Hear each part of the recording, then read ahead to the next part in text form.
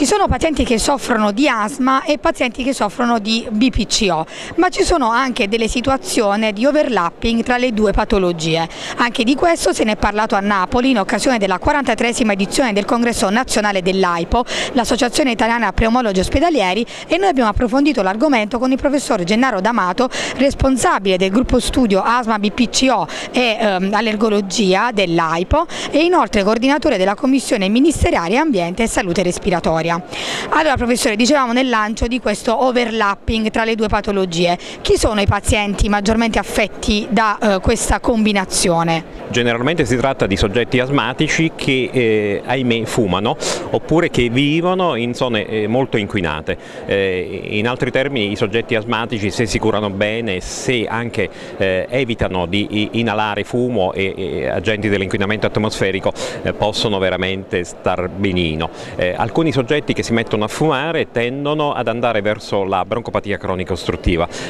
però fermandosi a una fase intermedia che è appunto detta ACOS di sovrapposizione delle due forme. Eh, in altri termini eh, si cambia il eh, panorama di questi soggetti perché insorgono eh, altri tipi di infiammazione che tendono a essere eh, aggravate. Questi soggetti cioè eh, tendono ad avere più frequenza di, di, asma, di tosse e di sintomatologia respiratoria. Sono soggetti quindi che non possono essere trattati come dei semplici BPC ciò soltanto con dei broncodilatatori, siano essi beta-2 stimolanti che eh, anticolinergici, che in termine tecnico significa farmaci che sono in grado di eh, ampliare le vie aeree eh, e di ridurre il rischio di intrappolamento dell'aria e quindi di eh, evoluzione verso l'enfisema, ma devono essere trattati anche con corticosteroidi perché in fondo si tratta di soggetti con infiammazione delle vie aeree che non si può trattare soltanto con dei broncodilatatori. Ecco, infatti la cosa che emerge maggiormente e che preoccupa sempre di più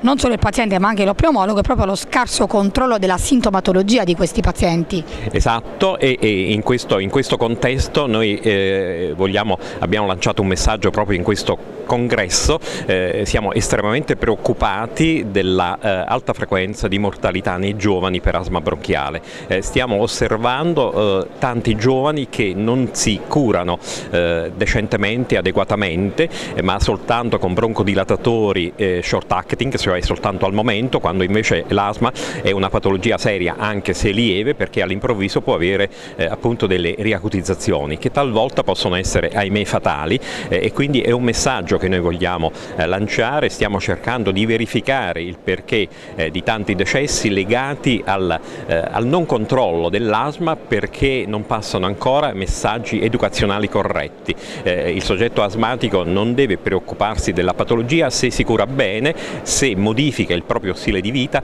evita di fumare, evita di stare in, eh, in contesti inquinati eh, e appunto si cura per bene. Anche perché dobbiamo sottolineare che non si tratta soltanto dell'inquinamento outdoor che, da, mm, che può dare, diciamo, e può comportare queste patologie, ma anche di inquinamento all'interno dei luoghi chiusi, quello che viene definito indoor, cioè, perché molte volte non si tiene conto di questa, di questa duplicità esatto e diciamo che eh, l'inquinamento outdoor può eh, entrare all'interno delle abitazioni però eh, consideriamo che la vita di un soggetto normale generalmente è, si effettua soprattutto all'interno di ambienti confinati. E ahimè esistono ancora troppi fumatori, ancora troppi giovani che fumano e che non soltanto danneggiano se stessi ma danneggiano anche i conviventi, tanto per dire i bambini che convivono con fumatori difficilmente potranno ottenere un miglioramento della sintomatologia se non si evita di fumare nel contesto, nel, nelle famiglie in cui eh, vivono.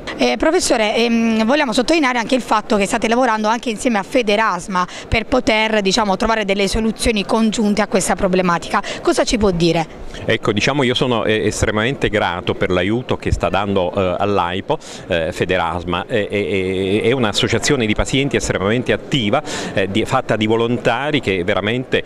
vanno lodati perché tendono a essere vicino al paziente e comunicano alle società come la nostra addirittura addirittura i casi di peggioramento e noi come medici cerchiamo di aiutarli eh, interagendo con Federasma, eh, c'è anche una interazione online attraverso i social network networks, noi adesso possiamo vedere anche i volti dei soggetti che addirittura eh, stanno in near fatal asma oppure appunto sono stati ricoverati per asma grave e cerchiamo di verificare perché si è verificato questo, perché questi soggetti appunto giovani magari non si sono controllati bene dal punto di vista farmacologico o ambientale e quindi eh, Federasma è veramente benemerita per questo aiuto che ci sta dando, così come anche a livello ministeriale nella interazione con GARD che è quel gruppo di studi appunto che si interessa proprio della patologia respiratoria.